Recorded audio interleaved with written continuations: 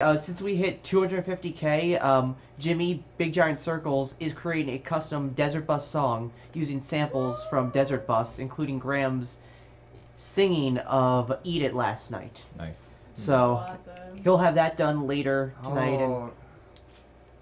That's too bad. That the unfortunate thing is that a lot of our, uh, you know, over-the-air recordings will be they'll have a little bit of monitor noise on there. But uh, yeah, well, Jimmy actually isolated apparently Graham's. uh, Yep. yeah, wizards. He's a wizard. no, yeah, he already Wizards. isolated the uh, sound.